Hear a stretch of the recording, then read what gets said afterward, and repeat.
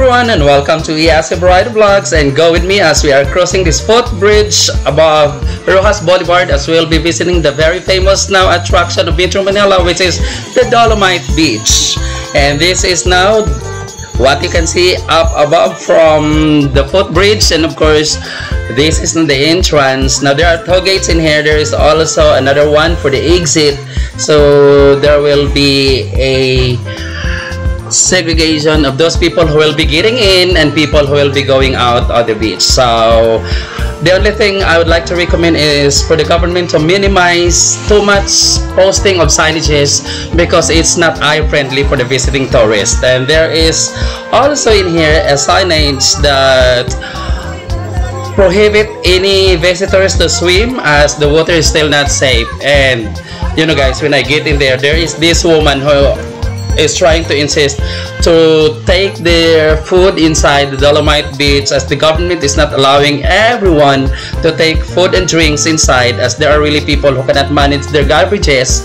So I also understand why the government has to do this and I hope everyone should follow the rules because this is for the benefit of everybody as cleanliness is what we really need. Look at the beauty of this Dolomite Beach. The sun is so fine and I really able to appreciate how much is the effort of all the government offices who join hands together in improving this area as I also able to witness in the past of how dirty is this place. So even the residents of Metro Manila and those people who are able to visit this one in the past, the Manila Bay Walk is really very very smelly but this time when you're able to visit there it's the opposite already. As you can really appreciate how clean it is how organized it is. Only there are still things that needs to be improved like the posting of the signages and maybe also the gate needs to be improved.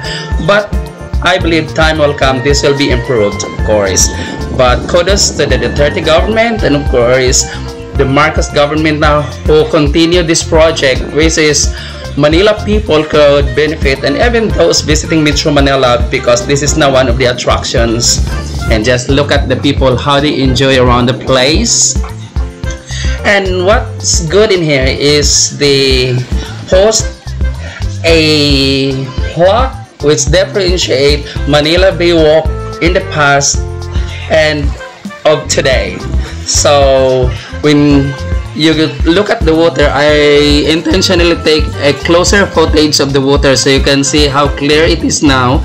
But even if the water is now clear still the government is not allowing anybody to swim for our own safety. So I hope everyone will just follow the order because anyway rules laws are being made for the benefits of everyone and not for the few people only but it's for the majority. So when we, when we follow things nothing will happen but instead we would able to benefit on it. So that's the sunset of Manila Bay Walk.